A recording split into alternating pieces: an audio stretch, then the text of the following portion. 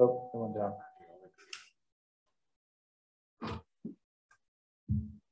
What'd you lose? Uh, I got my title, got. So where are we at on time? We got a few minutes. Is Justin chiming in? Oh, okay. All right. Oh, you didn't have to do that. Appreciate that.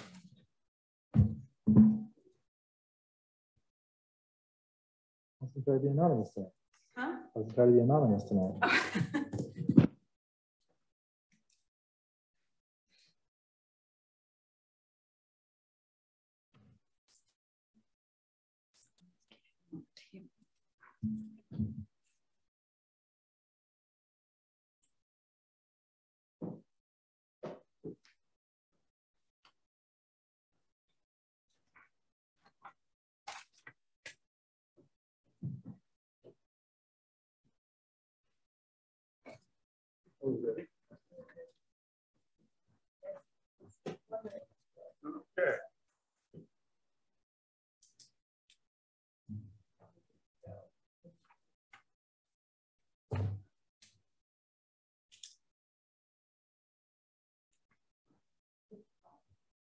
Right on that? All right. We will now open the Estacada City Council workshop. Uh, we have the rest of the wastewater facility plan review, and you're coming back to us with new and interesting information, is that right? Certainly interesting for me. All right. Good information for everyone. Good, good. Well, go ahead and take it away, and we'll try to get as much of this in as we possibly can. Excellent. I'm Kurt McLeod with Curran-McLeod Engineers.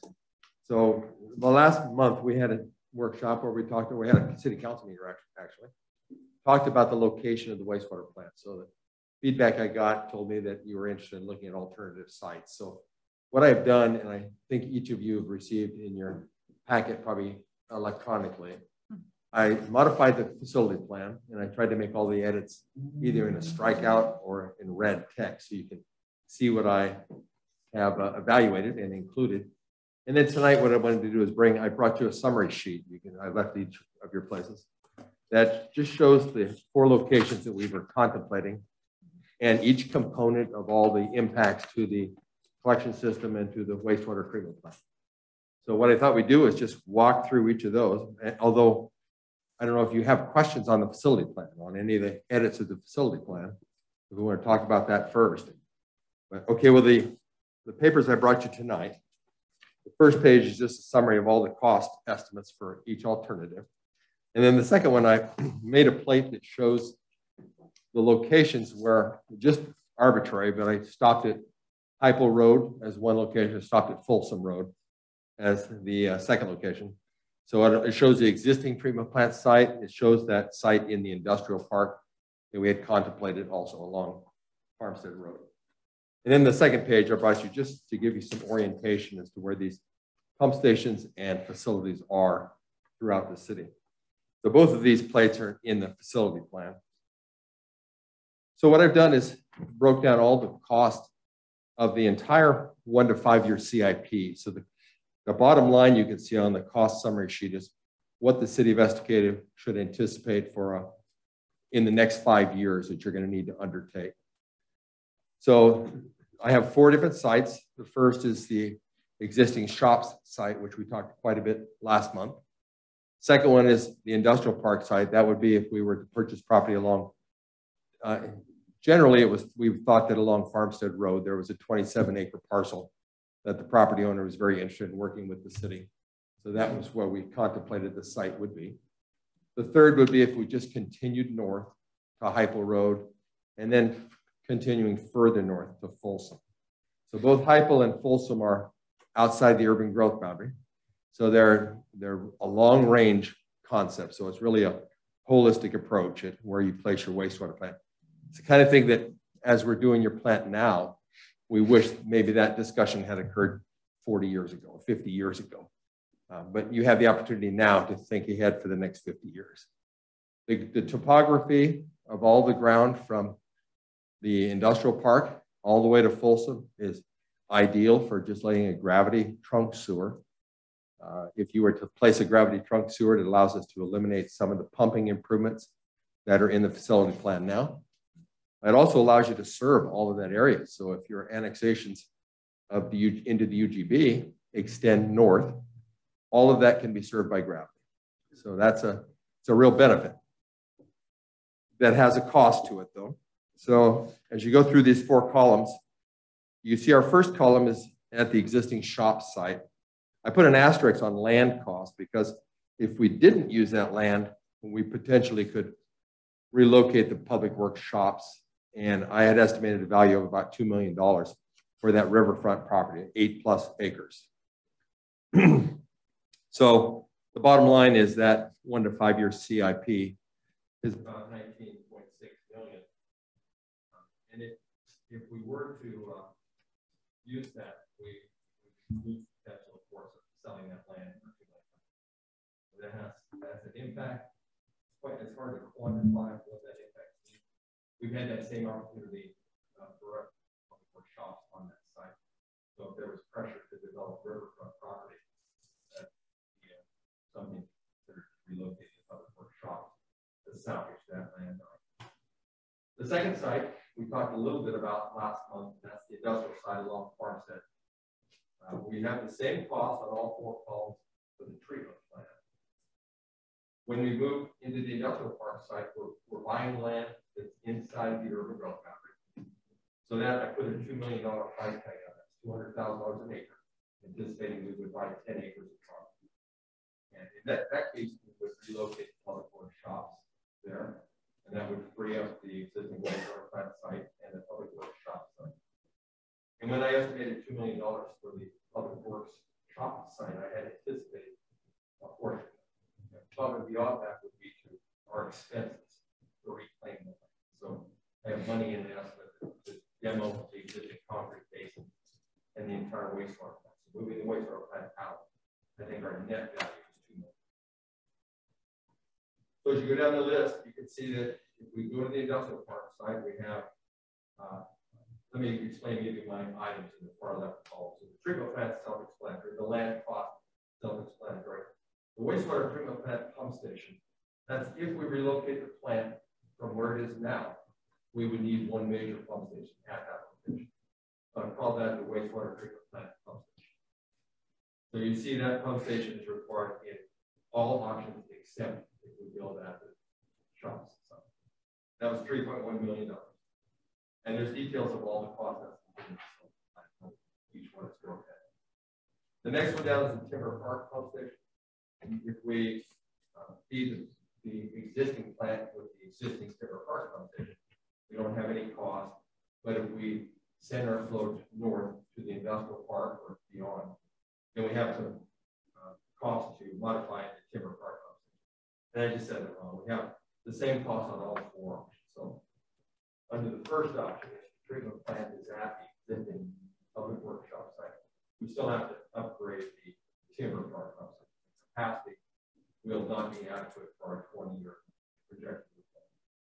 But if we go to the industrial park site or to high or all with Folsom, Timber Park still gets modified. It's a little different modification. The next one down is the Northwest UGB pump station. So the urban growth boundary was expanded some years ago that brought in land that was below what the campus pump station could serve. So to serve that, we simply need a pump station down at the far north edge of the industrial park, maybe the northwest corner would be ideal. Uh, and what we anticipate is um, building a new station, or either if we use the Farmstead Road site, or if we use the existing public workshop site, you can see on my listing. If we go further north to Hypo or Folsom, we can serve the entire industrial park by ground.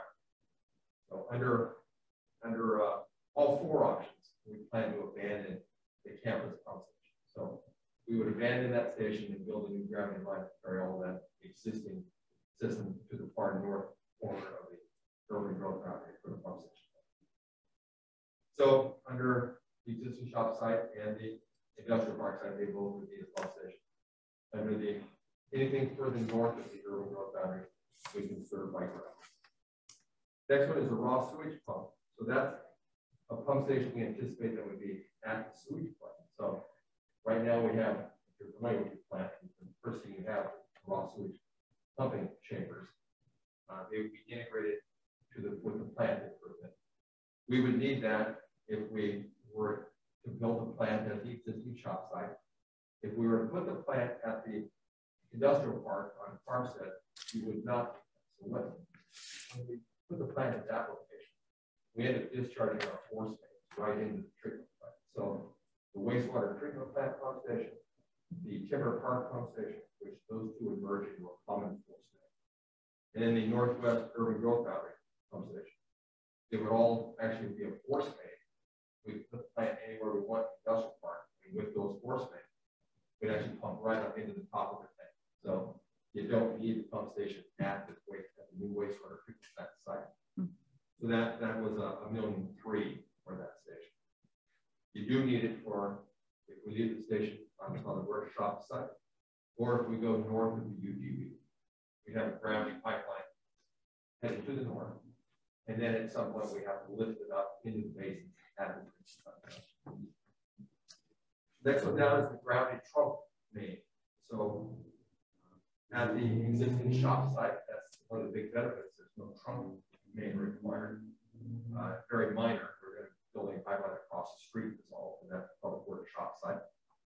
Uh, if we go to the industrial park, just like I mentioned now, you don't have a trunk main because the pump station forced right into the new treatment plant and the cost of the pump station included force mains to that location. But if we go to Hypel or to Folsom, where we can now collect the industrial park by gravity and collect all the area north of the UGB by gravity, we have a new trunk sewer. So to Hypel, uh, I don't have the footage, I think it was 9,000 feet Folsom, probably about half of that to. So the cost, we have uh, a million five to get to Hypel. We have a two million seven estimate to get Folsom. So that includes purchasing easements along the way and the construction of, of a large grounds. Then the last item of the of the uh, project was is the river outfall. Of course, if we leave the plant where it is, we use reuse the existing uh, outfall. If we go to any other site, we have to build new outfall. So the industrial park site is uh, a challenge. We have some mineral operations across the street. We have gravel pit we've got, we may be able to come back to the, just downstream of the dam. Uh, one of the benefits that you're aware of is any of these other three sites, the industrial park or the north of the UK, we discharge downstream of the dam, which is nice. Yeah. Uh, however, our water quality meets the water quality standards, so it's not a big issue one way or the other. So the river outfall, you see on this other plate I provided to you, the orientation of the river versus this is a rough spot on Hypel and Folsom. So Folsom has an advantage, and it's quite a bit closer to the river compared to Hypel. Hypel also has a large residential area along the river that certainly would want to avoid. So uh, the, at the location on the industrial park, you see it's rather close also river. We'd have to go to the north, catch that little oxbow of the river. So when you consider just the treatment plant, uh, the summary of costs, or for the existing shop site, I have a summary total of eighteen million nine fifty. The industrial park site, twenty-two eight seventy. We've got a four million dollar difference between existing site or the industrial park site. And then if you go to Hypel, we're buying quite a bit more capacity and planning for the future. So we have a cost of 25 two and then if we go all the way to Folsom, we're at 24 million. So the difference in those two is the outfall cost of the server mm-hmm. is better in Folsom than it is in Hypel. Then the one other thing I put on this summary sheet is what we see happening right now is the development along Eagle Creek and along Goose Road. Mm-hmm. So we're seeing uh, the Northbrook subdivision at Dugan Estates, which will mandate that we get the Eagle Creek pump station built which is maybe a thousand feet or 500 feet short of Duus on Eagle Creek Road. So we, we know that's going to be needed in the next two years. So I included that in a one to five year capital which on the bottom there you see all four of those schools. Let me just also say too that I've had, just this last week, we received the and Taylor, and the city received the submittal for the second phase of the industrial park, uh, industrial park three, I think they call it. We received phase two of industrial park three. Uh, But they had anticipated sewer, so I don't know, if the only way they're gonna get sewer service is with that northwest UGB. So I don't know what they're thinking, but I think that the plan review at this point is simply going to say that there's no sewer service available. without permission. I've also heard discussions of service further north, beyond this phase two of the industrial park, which would all also require the pump station. And also phase one of the industrial park three, better approved is under construction now. They have about, I think, four lots, maybe six lots.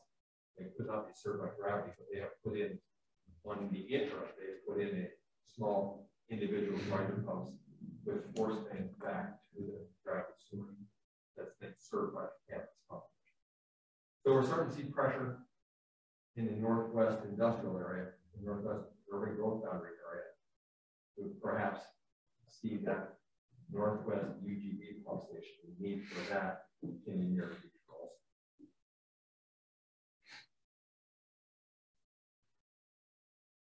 So I, I can give you also one more kind of a holistic overview. If, if we see development pressures in the northwest industrial area, if we see that imminently, then we would probably rethink the Eagle Creek pump station, the seven hundred thousand dollar project, and perhaps divert that fund to building a gravity line across the highway and go to build the Northwest Industrial uh, UGB. Both of those. The only reason we have the pump station in our county improvement plan now is because growth pressures from Eagle Creek east were imminent. So we see a lot of development from Eagle Creek. I'm really uh, interested in that Folsom drop because of the fact there is no residential anywhere near that. Your drop is nineteen hundred feet to the river, which is always nicer the closer it is, obviously.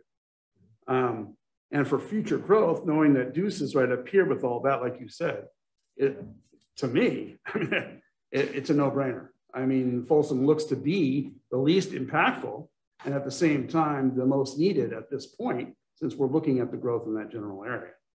But that's just my opinion. I mean, So, um, if we, if we were to move to Hypo or Folsom, um, that gravity trunk is going to have to go through. Um, I mean, it, it, looks like there's a lot of different properties between there and there. Mm-hmm. Uh, how much of a, how much of a uh, hindrance, how much of an issue do you think that's going to be getting, you know, getting all of those property owners on board with us running a gravity trunk through their property?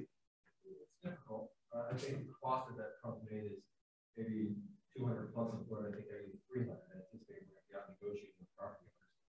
However, when you do that, what you're building is future sanitary sewer service in that area, so anyone out there is interested in ultimately becoming part of the city and developing, that's providing the infrastructure for them to do. So I would think that a lot of the property owners would be interested in that. Maybe some who simply don't want to be part of the city, don't want so yeah, no, it certainly would be a challenge. And it would be time consuming to negotiate. Is there property available on Folsom Road at all that we can negotiate with or not? You know, I haven't looked at any availability of property. So I think there's, there's always property available, negotiating something that's beneficial for both. did he get bushy? Not really a question, more of a, a statement and a request from city staff. I guess when I look at the map and I look at the idea of where to put, I mean, any of the three options outside of what our existing shop is.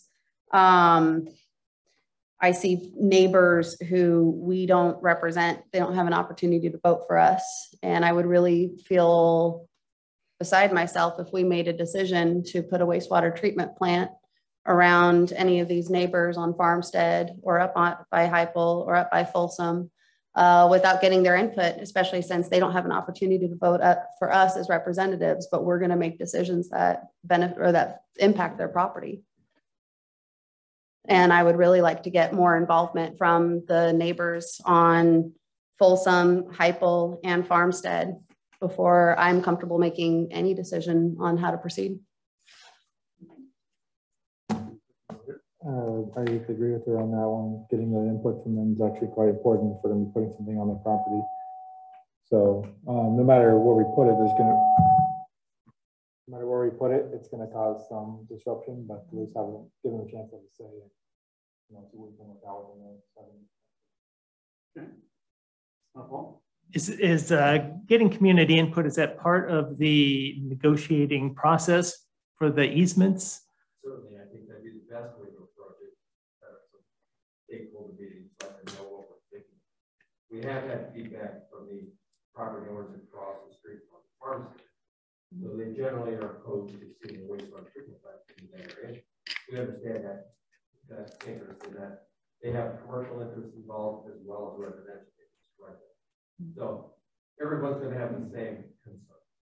So, I mean, the, the key would be to try to locate as far away from any residential as possible, maybe even further Folsom. It's a challenge, no matter what you do, it's a challenge. But that's the, when you do that and achieve that goal, you've laid the foundation for the next fifty years of program, so.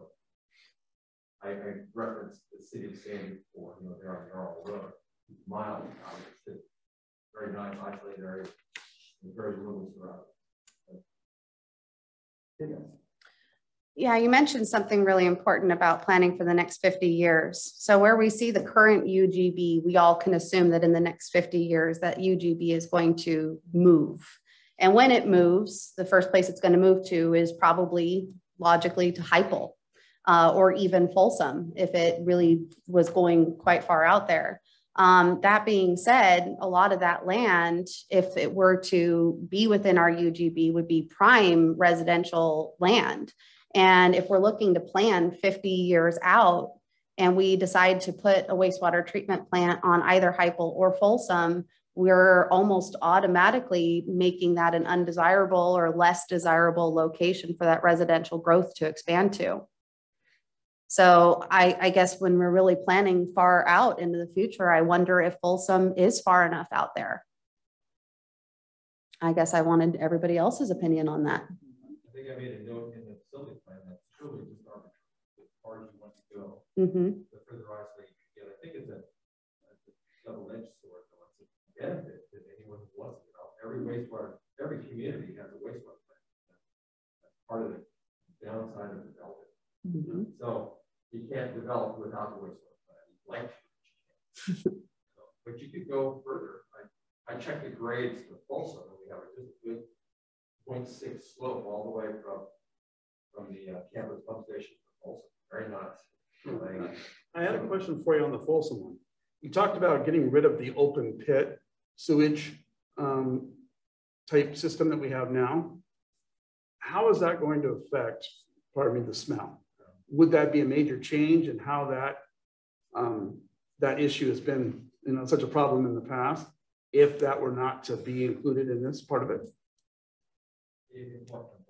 Well, the open, the open sewer pits that we have now, you said those would go away if we move to the Folsom location.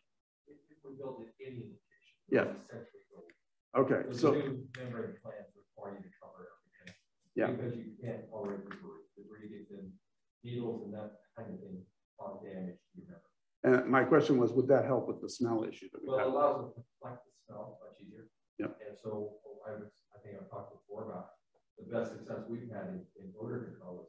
We've tried a half a dozen different systems, called organic systems, and the best we have found is just to collect it and shoot it up in the air, and then it catches the wind drift above the tree. line. So we collect six or seven thousand CFM, cubic feet per minute, have the chemical plant, maybe five different locations send it up in the air, we put a venturi at the top of the stack, and it adds another two times or so flow. So by the time it gets to the end, it's shooting out at uh, maybe close to eighteen thousand.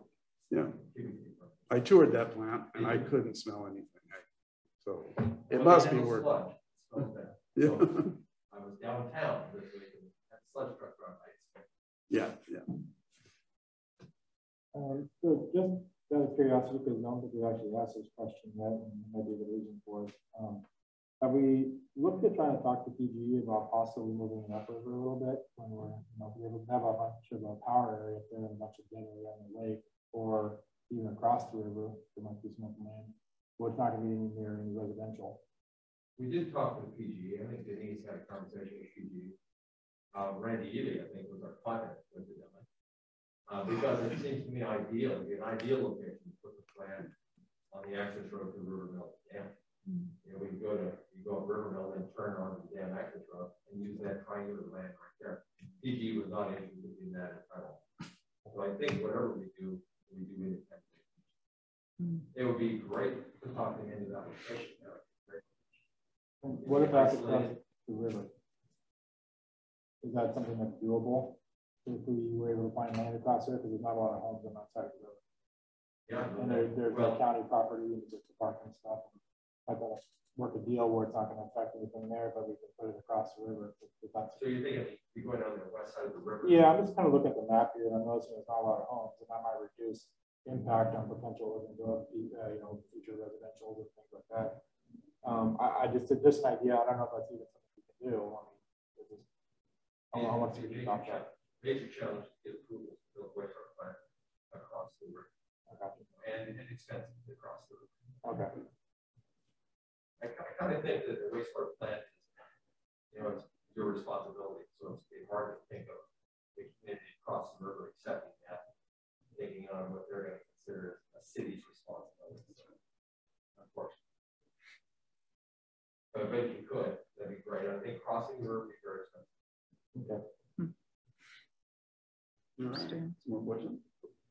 So from, from the options that you gave us, I mean, the Folsom one to me makes a lot of sense. It does. And, and you know, I agree with, with Councillor Dunsmuir. We could look further north. If there's anything up there, that would be great too. But I also feel like a, certain sense of urgency as well too, especially given that we've got more subdivisions planned. We've got other annexations coming in as well too. Um, I mean, if we were to get the process started now, what, what would the next step be um, in, in order to get things going? Because none of these, Folsom, Hypel, Noble, the industrial park, none of them seem like a slam dunk. The only slam dunk that we have is the existing shop site at this point, which is a good fallback um, to go to. Not ideal, but it, it is a fallback. So if if we were to get something going now, um, pursue Folsom, and then we hit a barrier, something along those lines. Um, I, I would rather hit that barrier sooner than later so that we can start working plan B, plan C. I mean, that's, that, that's my input. That's my thought here. I would, I would rather make some sort of decision or some sort of, get us pointed in a direction now so that we can start working on things to see if these sites are even feasible. Um, what, what would we need to do as a council? Are we making that decision tonight Melanie, um, Denise? Or are we just discussing and then let's think about it next council We're just meeting? Discussing and bring it back to the next Yeah. council meeting agenda and then we'll, we'll go from there. Is that right? Okay. So, yeah, I, I think if he, Paul's got a little bit of something there that I kind of agree with, and, um, I, I, I mean, I agree with what he's kind of hit on, something I'm agreeing with here. Um, definitely, I think pushing out further is important, but getting those people's input is absolutely critical. But at the same time, I think when we look at these spots, we should try to prioritize what's our highest priority that we want, want to work through, and what the next, kind of, that doesn't work, what's the next one, and work our way back down to what's the lowest priority. And start bringing people in from the community to talk to them, so we get that input, and then see which one may or may not work, because um, I forget who may have mentioned it, but that's a lot of homes across between Folsom and Hypel. It's a lot of people that, that are- might have something to say about running a sewer line underneath their home or in the property in that area. So, um, yeah, and I think, right, I mean, we, we have to get this moving because we're gonna get our somewhat on a time limit to get this stuff done so that, you know, we don't outgrow our sewer system. And it's gonna take years to get it done as it is, so getting that conversation going right away is kind of critical. So, uh, But yeah, I, I think we should put a priority on what's most important and our fallback one or the other and see the community has to say about it. Let me add that I don't believe the pipeline will be an issue. I think you can negotiate easily for pipeline. Very minimal impact on properties. And you'll, you need to simply negotiate with each property owner, find a dollar amount or a benefit that they're interested in. To get those, but an easement for a pipeline is very, you know, it's not intrusive. So they only know it's there after it's done. And we can, we can stay on roadways, but we're certainly not going to go through a house or something try to avoid all the private property, go along a fence line or something. But it's a treatment plant site. That's the challenge. So wherever the treatment plant is, there's going to be that opposition. So that would be the thing we want to do. Really, if we were to start a process to see how many roadblocks we would have, we would, I think, start a, a PR program to explain what we're doing, notify everyone, but it's only the treatment plant site that we really need to impact. So getting the pipeline to it is Charity, you have to. Yeah, um, I think we're kind of all on the same page, um, as far as, you know, we're looking at the majority of us at least are looking at Folsom Road. I too would like to get the community impact, um, or the community, you know, what they, what they have to say about it, um, the feedback.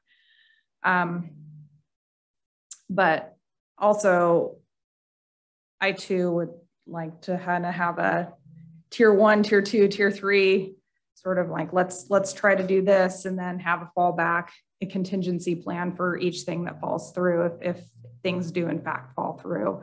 Because I'm looking at the timeline and yeah, it's it's getting pretty close. And I'd hate to get into a, a spot where we're gonna have to put a moratorium on building because we can't we can't house any more people here because we're running out of sewage space. So um, yeah, if we, I don't know, what would the next step be to reach out to the community around Folsom Road or just kind of see what they have to say. And then if we don't really hit any roadblocks, and I'm, I too agree with council, the first thing I thought about was that urban growth boundary is going to get pushed out in the future. I mean, it'll happen way after I'm gone, but it's, you know, it, it'll happen. Growth is inevitable. So. DLC will keep required to how much you can bring in. Mm-hmm. But I have had people contact me who are interested in properties all the way out. Mm-hmm. So, and they're, they're larger parcels, but they're interested in development. So a gravity pipeline would be right in there, up their interest. Okay. The uh, treatment plant would not. And Right. That's really the challenge. And the treatment plant is, I'm sorry, Councilor Licky, um, and that you said that would need, is that what's gonna need the full ten acres Oh, or no. just the two? Yeah, we, we get by with two acres. Okay, we- okay. We bought a larger site. Gotcha. So, um, I mean, at this point, I honestly believe that Hypel Road is out. I, I don't even think that's a legit, legitimate option just because of all of the, all of the houses down there uh, at Paradise Park. And then, um, every, every property along, along the river there has a house on it. Um, you know, going, going north from Hypel Road. Um, I really think that that option is out because that's going to be a big, uh, I don't think anybody down there is going to want to, going to want, uh, want that coming out, coming out down there. Um, I really think the only two, the only two legit, legitimate options that we have are where we're at and, and down near Folsom Road.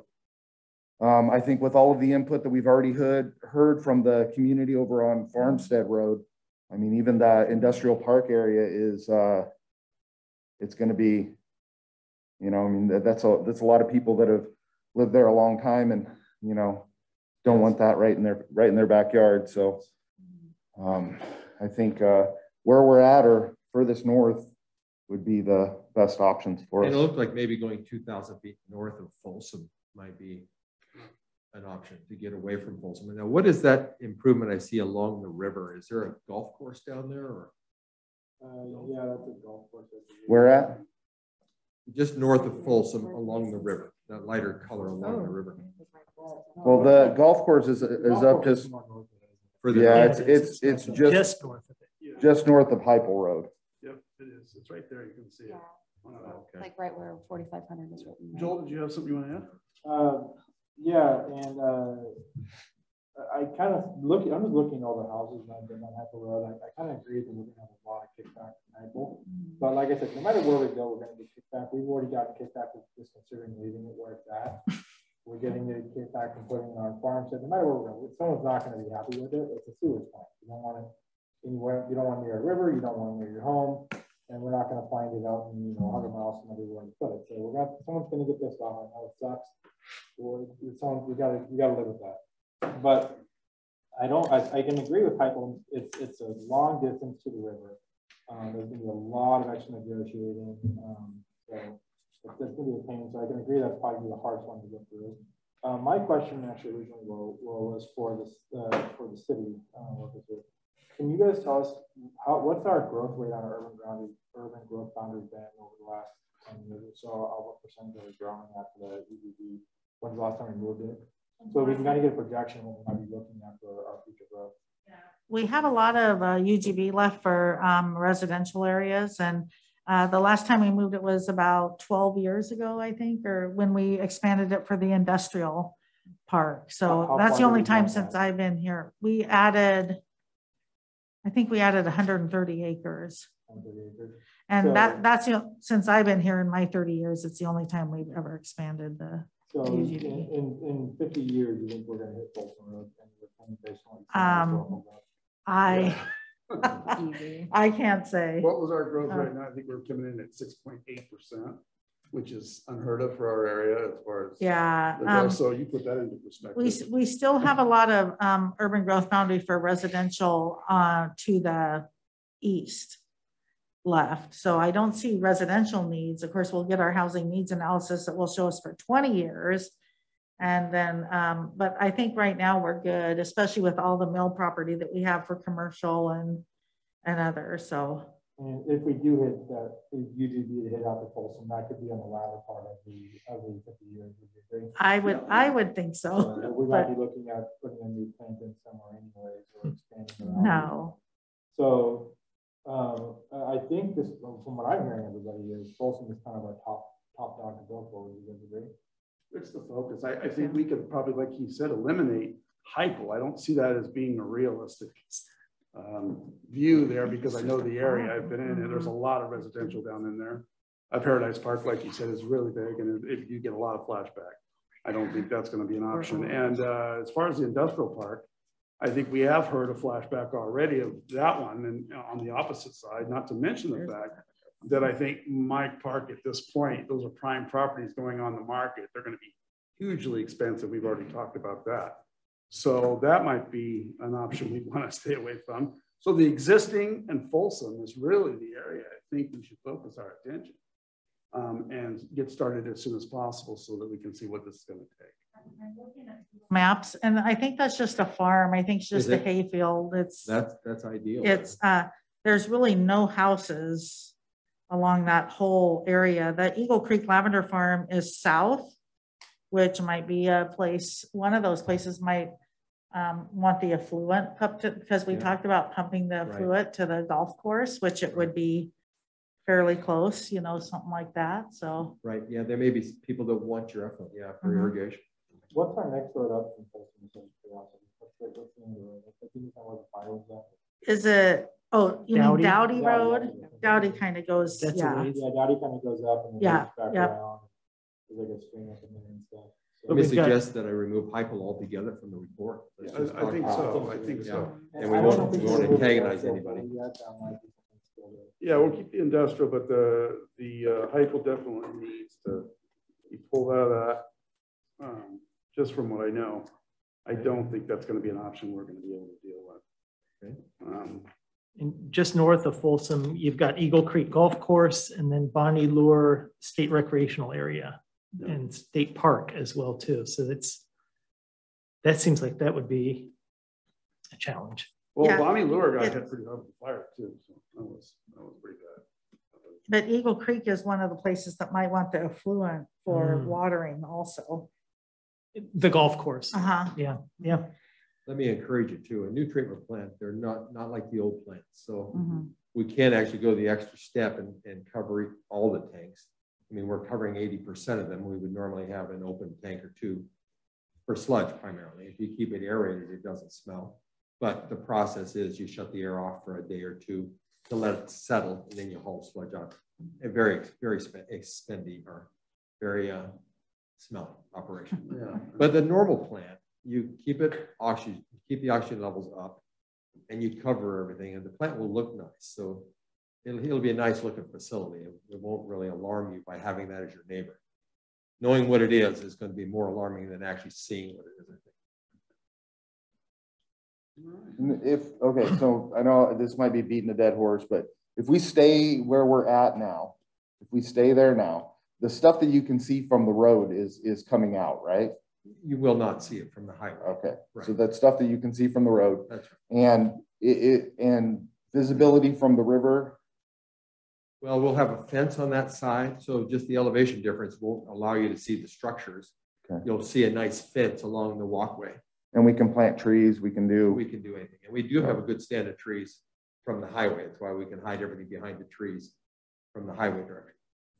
And we're, I mean, we've already established that we're handling that smell issue just by shooting it up into the air. That's, We- this, the issue recommend is gonna be gone. We would recommend that. It's a good solution. Yeah. Um, the challenges we'll still have with that i want to point.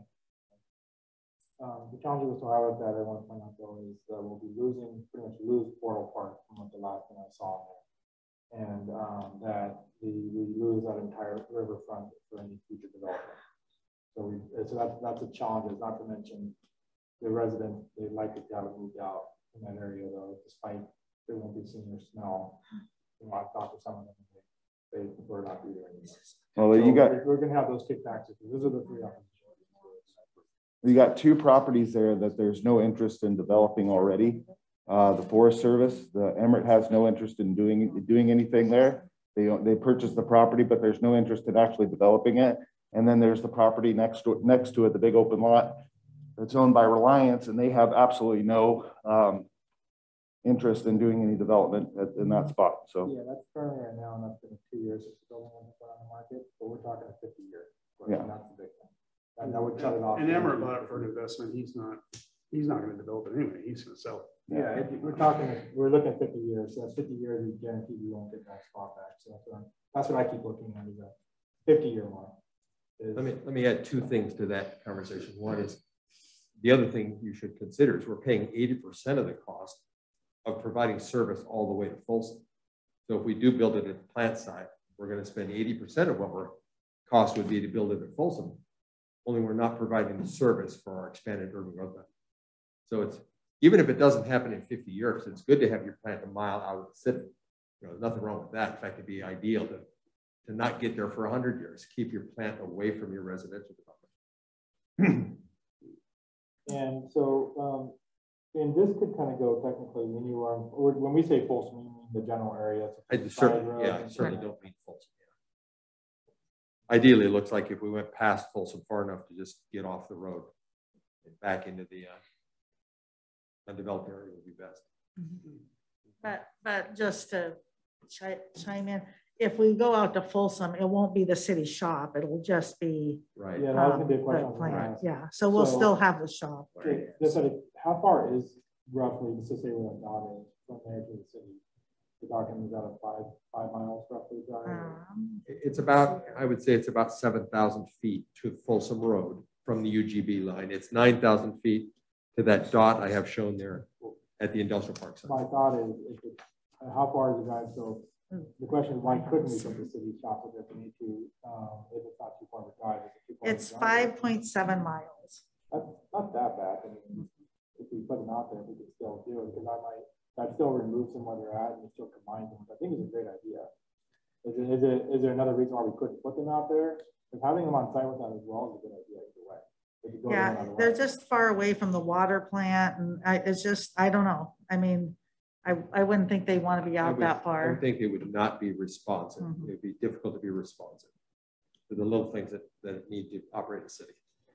I think you simply would need to find another little acre and a half site somewhere and put them there. You could, you still use this site for public works storage, equipment storage, that type of thing. You wouldn't have to store all that in the in-town facility. But for the day in, day out, you're gonna want an office, I think, in town and be responsive by being a mile away instead of five miles away. So bringing them closer out to the industrial area with the public works building, I think would fit that whole area anyway. I mean, we're talking a smaller parcel. Um, to find one that would fit, there's many different people involved along that area. It's more likely for the public works, so I'm not as worried about that. Yeah. Um, but yeah. Okay, well, we thank you. You've definitely given us some clarity and you've done some work here. Okay. It's a lot more options than we had the other day, which is good all around for everyone. And I thank you for bringing it back to us with clearer and more concise information that I can really understand and know what my options are. Uh, I think the council feels better about this now, hearing what we do have and the choices we do have. Um, Are you all comfortable Are there any other questions you'd like to ask him before we let him go? No, I just, I'm really curious to hear what Folsom has to say. and Yeah. some people on our way out, you know, so that's fine. Yeah, Denise will bring this back to us at our next for, um, Yeah, I'll work with Kurt. Should I simply hold tight on the document itself, or do you want me to clean it up and finalize it for this discussion? Um, uh, And bring it back see. for approval? What do you think, guys? I really want to hear citizen or I'd like to hear public feedback before making any finalized decisions. and that's still gonna be part of the process, right, Denise? That's not something we're gonna, we're still gonna have to give public Sure. feedback and Sure. everything before anything happens anyway. Is that right? Mm-hmm. This just starts the process. The- Well, this would give you a, a long-range plan. This is your goal. So there's a lot of hurdles to cross before you get there. Yeah. And that would be those stakeholder meetings, yeah. And that, and that would be okay. Personally, I really like the idea of exploring over by, um, north of Folsom, Yeah. especially right where that bend in the river I is. And I I like really that. love the idea of exploring that because, uh, not only is that area, you know, not likely to be developed in the next fifty years, you know, like right there at the line of it. Um, but I also don't see anybody else over there currently that's going to be majorly affected. Um, but I would like to meet with the stakeholders of Folsom Road and see how they feel about it being there at the very end of it. Okay. Okay, so Denise, I think we're in agreement uh, to bring that back and yes, cleaning that up and leaving that. Would you like me to clean it up and bring you a document that has it all concise? Okay. I will do Yeah, so we appreciate that. All right, thank you. All right. Is that it?